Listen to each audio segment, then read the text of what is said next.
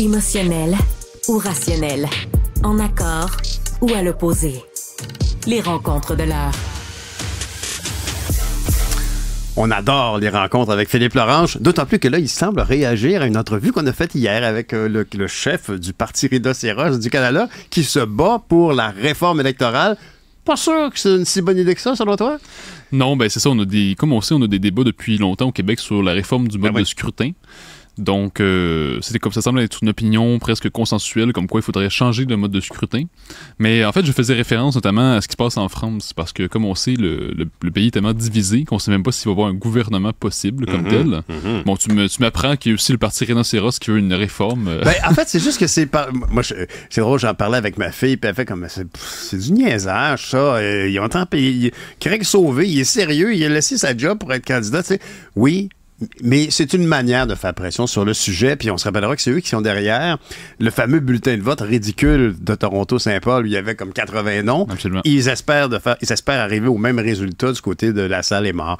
Alors, c'est le, but, c'est de parler de la réforme électorale, puis des promesses euh, brisées de, M. Trudeau, puis éventuellement de M. Legault. Il m'a dit oh, on va faire un rhinocéros Québec pour faire la même affaire, parce que c'est quand même un, un désengagement qu'on peut pas nier. Il est là.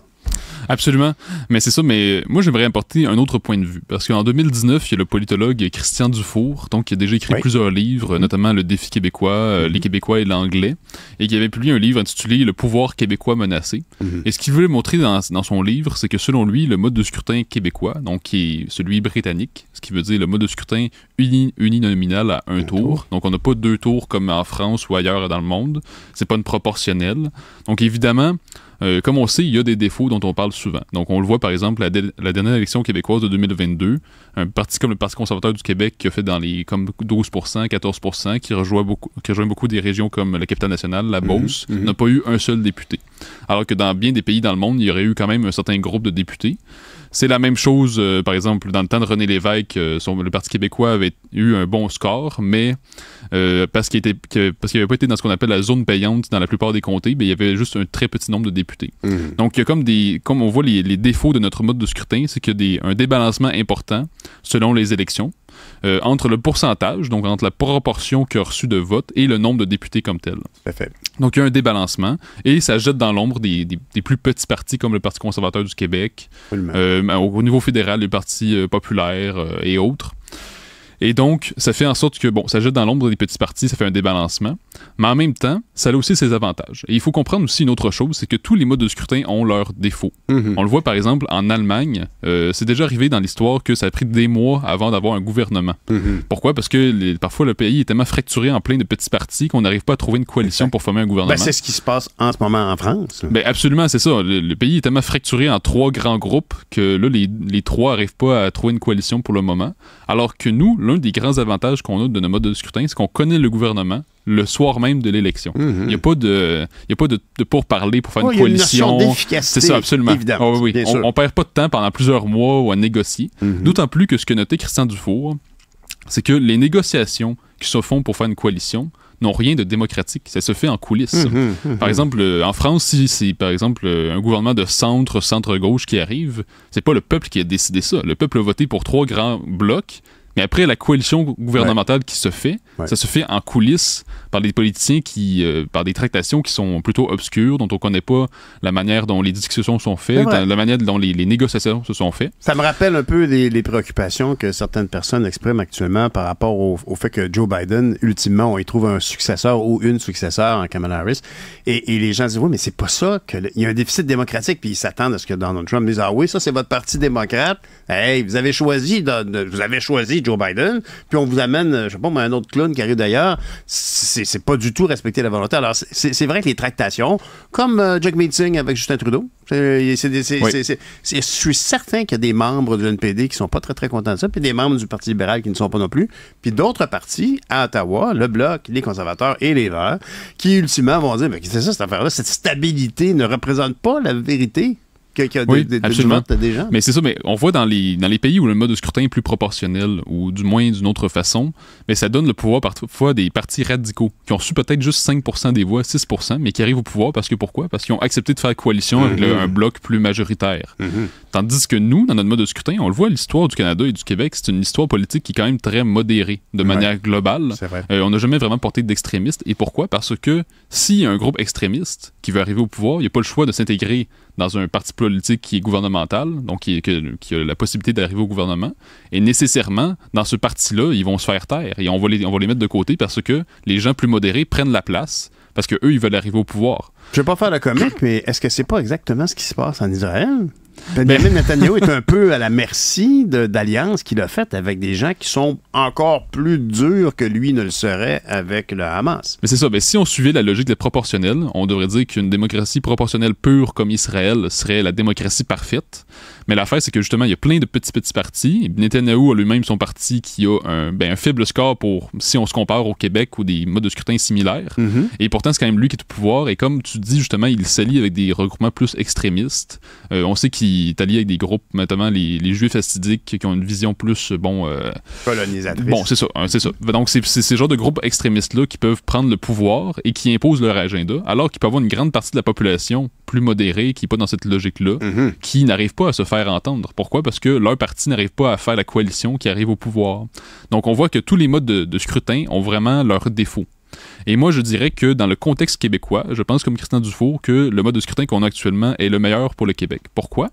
Parce que notre, notre mode de scrutin peut donner le gouvernement majoritaire à un parti qui a seulement 36% 38% Donc on se mhm. dit, mon Dieu, euh, majoritaire pendant 4 ans euh, pour seulement 36-38% c'est pas, euh, pas incroyable. Certes, mais en même temps, ça donne la chance aux coureurs. C'est-à-dire que, on, comme disait Christian Dufault, on donne un 4 mhm. ans, on mhm. dit fais ce que tu veux, mais en même temps, tu es facilement expédiable. On peut facilement te, tasser à la prochaine élection. Si tu pas satisfait la population, si tu pas respecté tes promesses, si, si, de toute évidence, même après un, un 4 ans majoritaire, tu, tu satisfais pas les conditions, mais on peut facilement t'expédier pour un autre parti. Mhm. Donc, c'est comme si on donne un 4 ans où on dit, regarde, tu n'auras pas à, perdre ton temps à chercher une coalition pour essayer de négocier avec un autre parti. Non, on vous donne 4 ans, vous avez les coups des franges, vous faites ce que vous voulez. Mhm. En même temps, la population est là pour faire, mais on sait, comme, on sait, il y a des pétitions, des manifestations. Et des élections euh, partielles. exactement. Absolument. mais les médias, c'est-à-dire, c'est pas un 4 ans de totale carte blanche non plus. Mhm. Parfois, j'entendais des gens qui sont très en faveur de la proportionnelle qui disent, mais là, on donne un 4 ans, puis là, le gouvernement devient comme un dictateur pendant 4 ans. C'est pas exactement ça. Il y a encore les médias, les pétitions, les manifestations. Il y a encore, pour faire adopter un projet de loi, il faut aller en commission, il faut prendre quand même le temps de, de, savoir ce que pense la population. Mhm, mhm. On regarde à quel point François Legault, depuis des années, il regarde beaucoup des sondages, il commande des sondages constamment. Donc même s'il est majoritaire, il veut savoir c'est quoi l'opinion du peuple. Mhm. Alors j'ai envie de dire, moi, je, ce que j'aime, c'est qu'on donne un 4 ans fort à un gouvernement pour lui dire fais ce que tu veux, mais en même temps, on peut facilement t'expédier. C'est ça, mais, mais, mais quand même, comment t'expliques alors que, des, que ben, on a le droit de pas tous être du même avis, c'est bien correct. Il n'y a pas de solution miraculeuse à rien. La vie, c'est compliqué. Les enjeux, c'était peut-être pas compliqué dans les années 60 quand tout le monde avait un gros char américain, puis qu'on s'en rendait pas compte qu'on exploitait les pays pauvres ailleurs, puis c'était donc facile. Il n'y avait pas de pollution pour fumer dans le char, c'était cool. C'était bien simple dans le temps. Aujourd'hui, on sait maintenant qu'il n'y a rien de si simple. Puis on paye d'ailleurs pour un paquet d'abus qu'on a fait dans ces années-là. Mais ceci dit, il y a quand même beaucoup de gens de grande qualité qui militent pour la réforme électorale, pour la, réforme du mode, de du, mode de scrutin. Eux voient quoi dans cet avantage-là? Voient une meilleure représentation de tous les points de vue? Oui, ben, je comprends leur point de vue, c'est-à-dire qu'ils veulent faire en sorte que. C'est-à-dire qu'on constate qu'il y a une crise de la démocratie. Ce qu'on veut dire par là, c'est qu'il y a une crise de la confiance de la population envers les élites politiques. On en parle depuis, bon, peut-être une vingtaine d'années et plus. On le voit dans le taux de participation qui est quand même relativement bas. Mm-hmm. Euh, donc, on se pose la question est-ce qu'on change, si on change de mode de scrutin, est-ce que les gens vont se sentir mieux représentés? Parce que, mm-hmm. par exemple, si on est dans un comté euh, nettement conservateur et qu'on est plus NPD, ben, on sait très bien que notre voix est un peu inutile, même si elle va quand même financer le parti. Mais mhm, c'est-à-dire mhm. qu'on sait très bien que la, voix est un peu inutile comme telle. Alors que dans un vote proportionnel, chaque vote compte dans le pourcentage national. Absolument. C'est ça la question. Donc c'est ça. Donc il y a l'idée que bon, on pourrait euh, mettre fin justement aux distorsions du mode de scrutin qu'on a britannique.